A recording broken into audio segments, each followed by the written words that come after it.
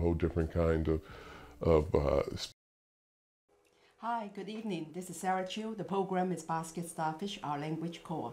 Thank you for tuning in. Tonight is the 61st episode. I'm going to uh, continue on talking about uh, the origin of a lot of the religious uh, words, like uh, why the Taoism in Chinese we say Dao, okay, or Dao, uh, is really related to the Torah, and also uh, why the Hebrew dialect, which means away. way is the same as the odos in Greek and it's also a, like a way and also the tariq in uh, Muslim, in, in Islam, also means the way. Why is it that all the ancient things, uh, the religions, all have the idea and the concept of a road that we have to follow? Sometimes it is meandering and sometimes it's like a straight road, but I will show you all the early writing that already shows all this connection, okay? I'm going to begin now. Uh, if I'm going too fast, please type the program name again, uh, Basket Style Starfish, our language core, and you can uh, rewatch it again slowly, okay? And I will start from the beginning now of the slides. And once again, this is uh, what I propose. This is the shape of basket starfish. Uh, the best thing is actually you can imagine it in a 360 degrees. The core is actually a rounded core and all those branches actually come out in 360 degrees. And none of us are individual tree family. And then because if we believe in that, uh, if we believe that every uh, tree family comes at a different time, then we usher in this human hierarchy. And uh, all, all the last 150 years of uh, linguistic researchers only keep telling you that uh, the importance of the Indo-European languages, but I will show you that I incorporate Chinese and also ancient Egyptian hieroglyph writing, and you will see all the similarity, you know, already there, you know, since the Sumerian pictograph, okay? So I think uh, this needed to be changed so, uh, so that we can put everybody on the same equal ground so we can understand the world in a more fair way, okay? So once again, I will uh, continue this. Uh, again, the word Tao or Torah, uh, which means uh, actually a law which gives you the direction, okay, of in life religiously. Okay, the Tao or, or in is an English transcription. In Chinese, we will say Tao or Dou, okay?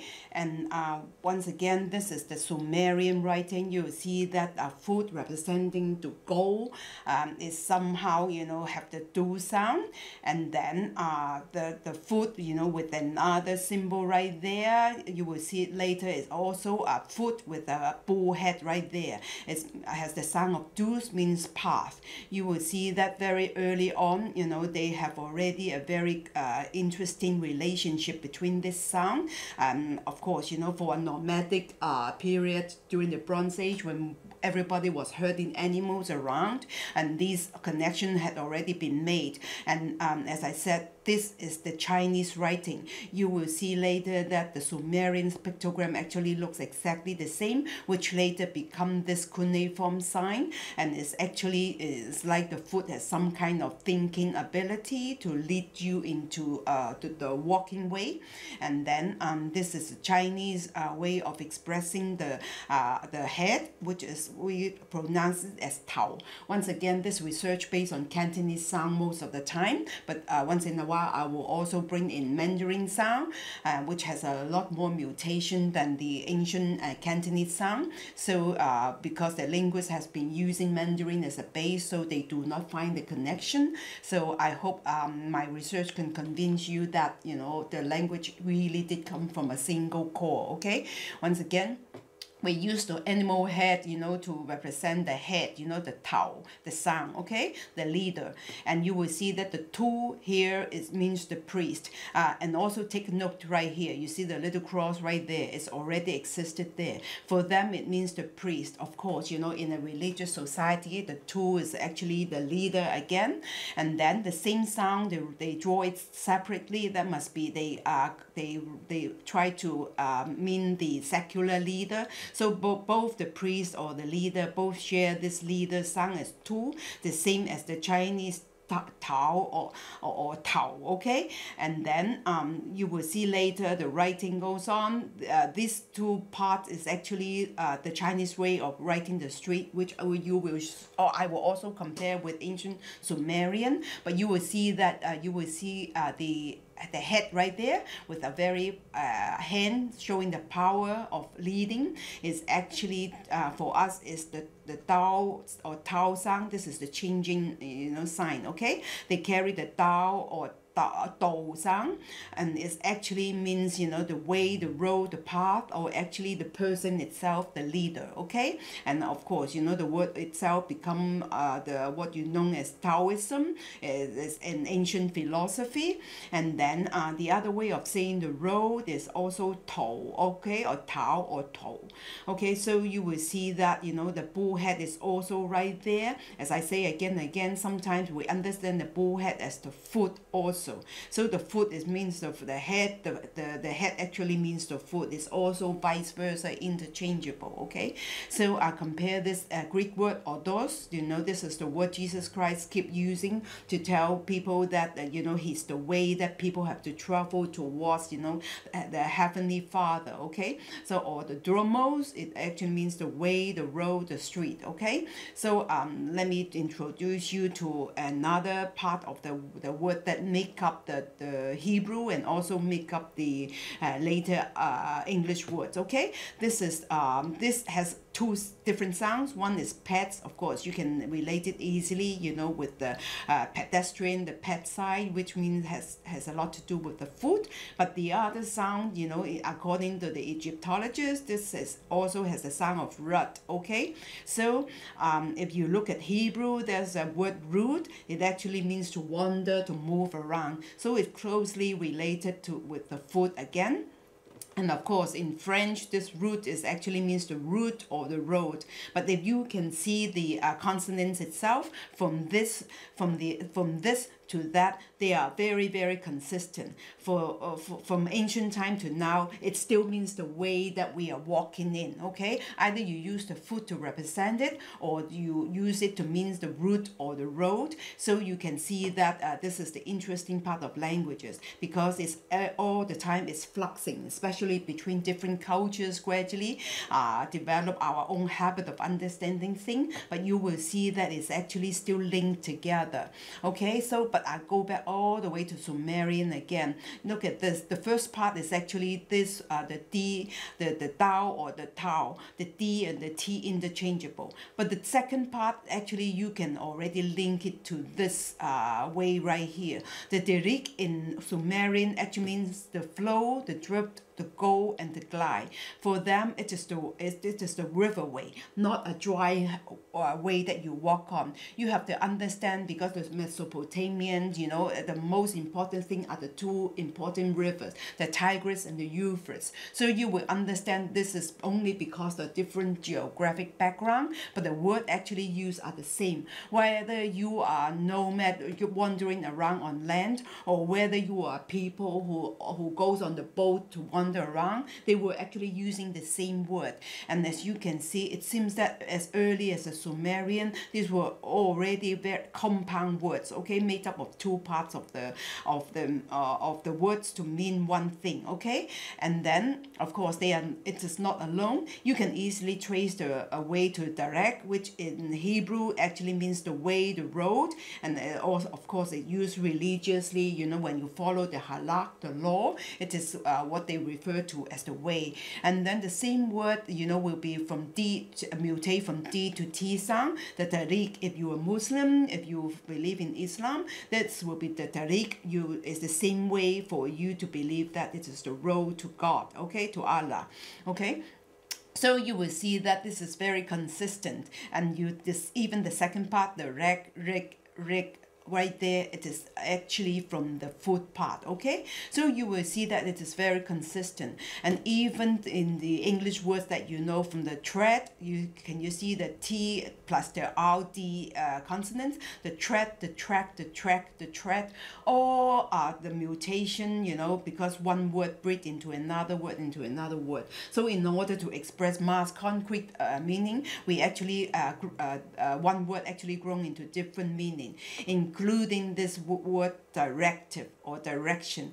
Direct is actually, uh, you know, has the way, all the way you can also follow back to the Sumerian sign, okay? So uh, I will go to the next slide. And uh, again, uh, I've been talking about the spiritual elevation, but this time, you know, I will show you how the ancient already understand it. You know, you have to achieve it in pairs or you have to have company to do the same. It is uh, also based on the ancient way of pairing up when they go on the road, you know, to, to make sure their own safety. This is the Chinese word lei. As I told you uh, a couple of weeks ago, um, the Chinese word for, for code or the ritual to follow is lai. And when you look up the lai, it points you to this lei. And lei means to tread on, to footstop, to ascend. And that means the Chinese way of explaining what the law is also a way to follow, okay? But I want you to pay attention to the writing and, and in, in a minute, okay? But you will compare this sound, aleya, the Hebrew saying aleya or the Hindi saying alaya. They are all uh, going up, you know, to the spiritual abode. You know, it is a pilgrimage, it is the return to the home, you know, uh, base, okay? So Look at this right here. This is again, this come from the Tao, the head right there, or the leader. Okay, and then as time went by, as I said, this is the base of the word uh, Taoism, Tao in Chinese, and it also means the way. You will see that that animal is always there, the leading animal head, and of course, you know, sometimes you also represent that with an A shape. You know, that's why in the West you use the A alpha as the leading alphabet in the West, but in the East, you know, we it, it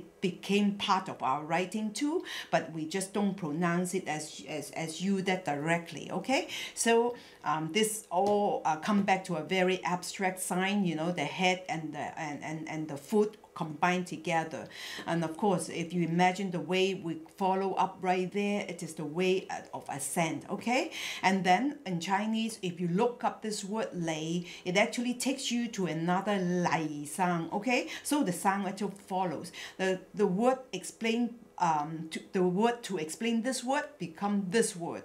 And lai actually means to travel in pairs. And if you look up this word, it really takes you to this word. You will see that consistently it means pairing up to travel. It means a journey, a tr the travel. And as you, you can see that uh, even in, in Hebrew, in uh, Islam, always the way to God is always, uh, as a metaphor, as a journey. And of course, the modern use of lai in Chinese is in pairs or means something elegant. You have to uh, know, understand. I mean, in even in the Middle Eastern, uh, in the Middle East now, when you travel, you really dressed up because it is a way of being seen. People respect you. People know who you are. So whenever they travel, they actually dress up. Not like us now. We put on something, you know, uh, the uh, as we can, we think we can throw away, so we can travel and throw away.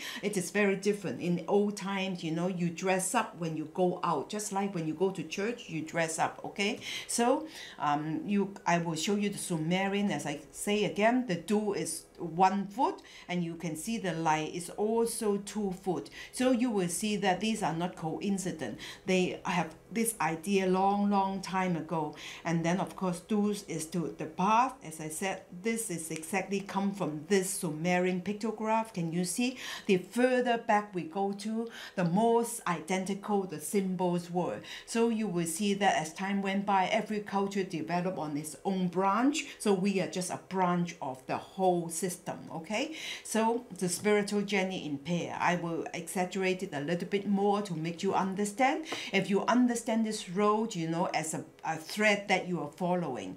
Uh, um, a few weeks ago i also show you you know how come the l also share between a river a road and a rope okay? So but then sometimes you can use the h to represent the rope which uh, i show you.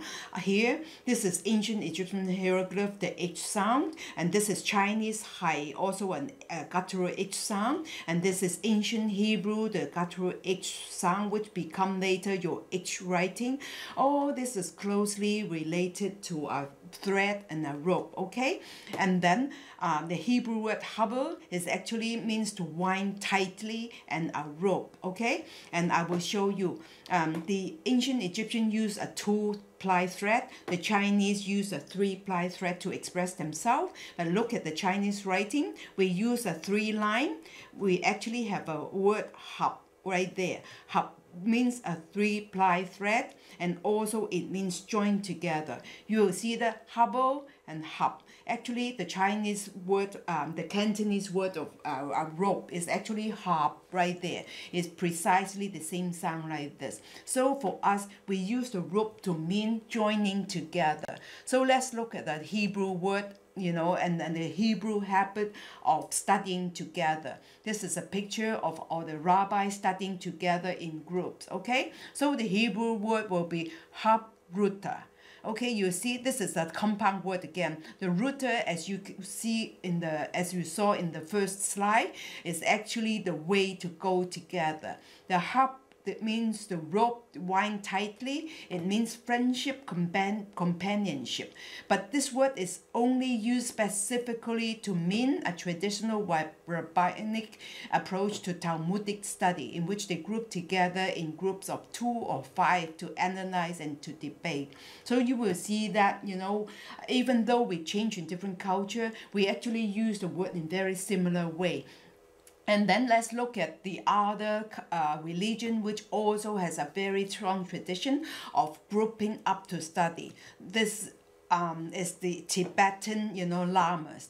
They also group together in, in tools, you know. They debate with each other in their monastery. They, they, they study together. And this is Buddhism. The other you understand is is is, is um is Jewish uh, religion. And of course, you know, the uh the Muslim also have their own system. So you will see that since ancient time we you we go side by side with understanding how we can achieve this uh, spiritual journey in pairs or in groups okay?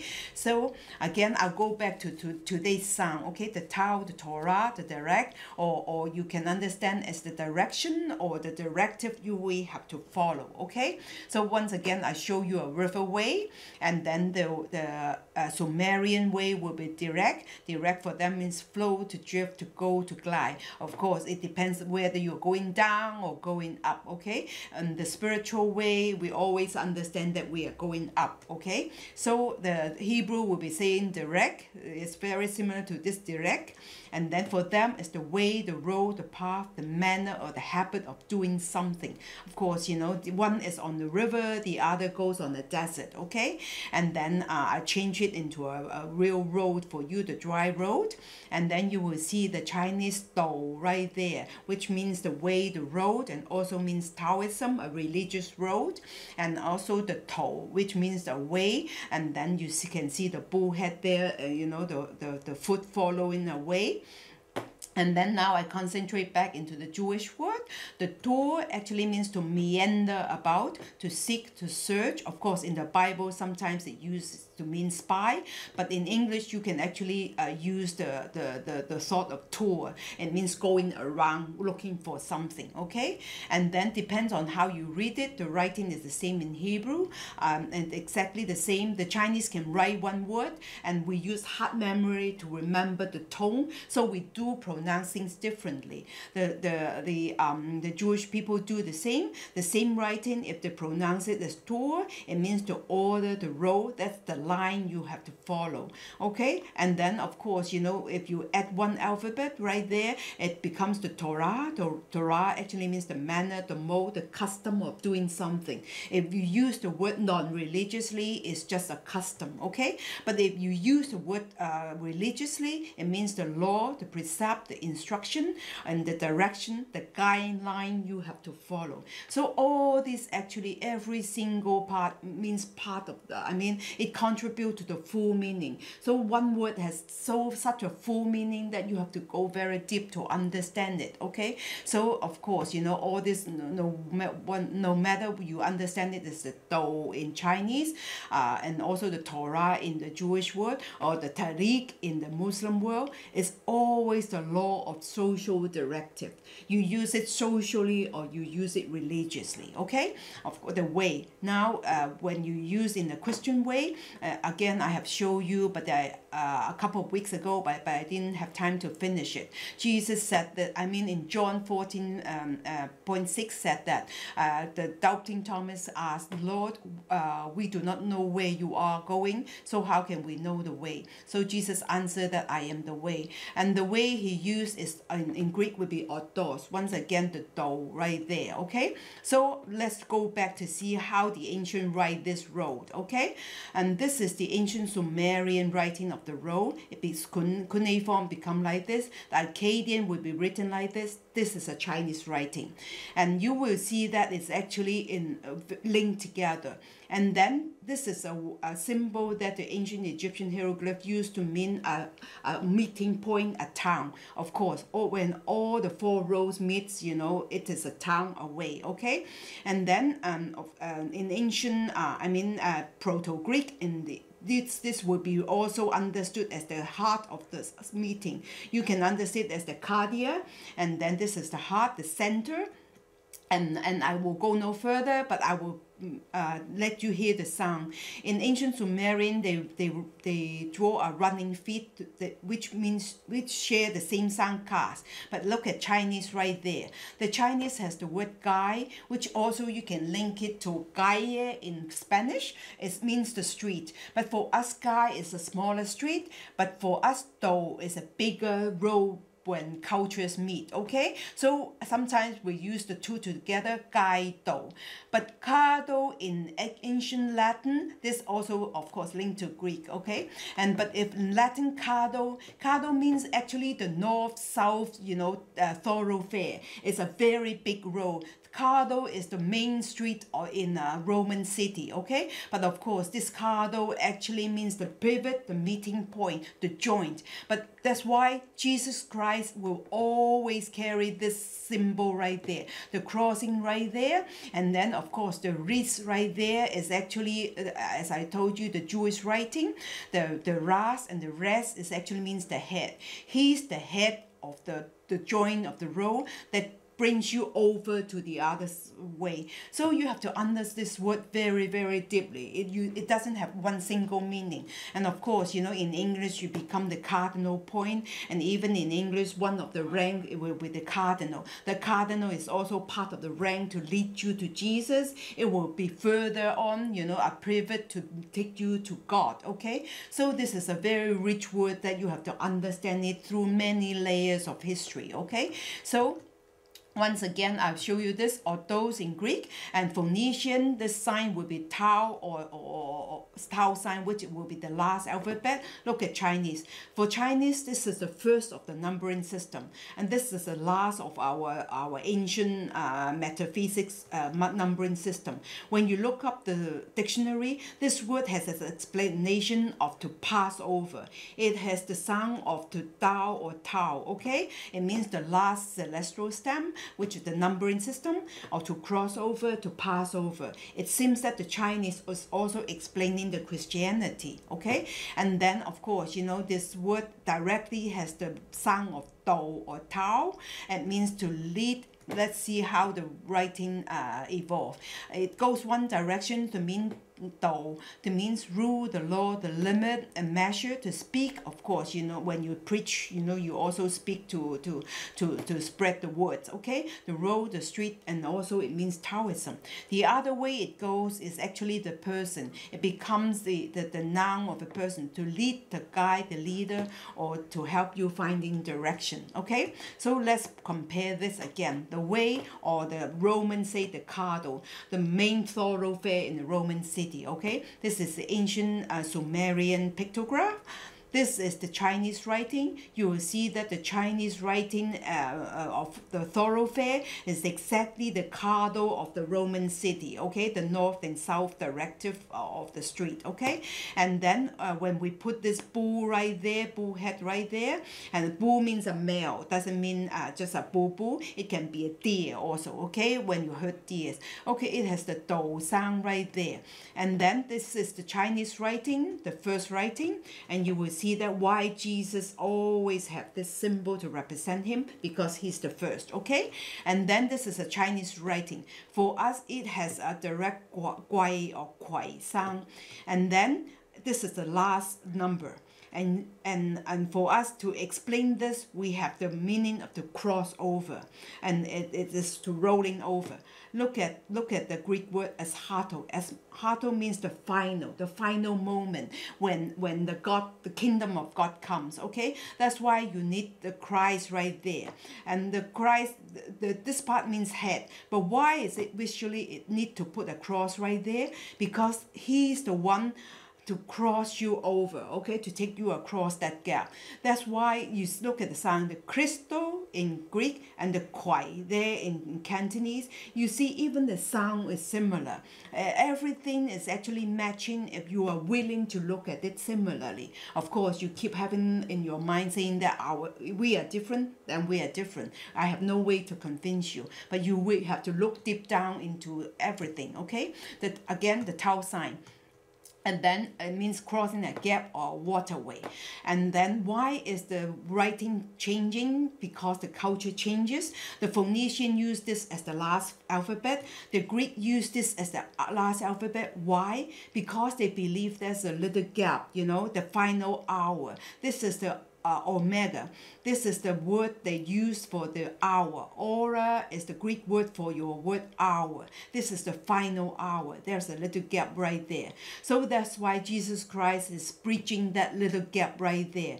The crystal is right there bridging this gap. That's why the ancients actually has the ability to read, read write uh, drawings. Uh, they read very different from you. And that's why the Greek word archos, uh, which is the English word arch, it uh, takes this, the A lips, the R means the, the, the round or the head right there. The X is also there. It has all three components. For those who can read pictures, they can read it easily. But you look at the pagan world. The pagan world also have a person, Charon. He's the one who take people across this river of death. Um, I guess I have to stop right here. Um, thank you for watching. Please uh, watch it again.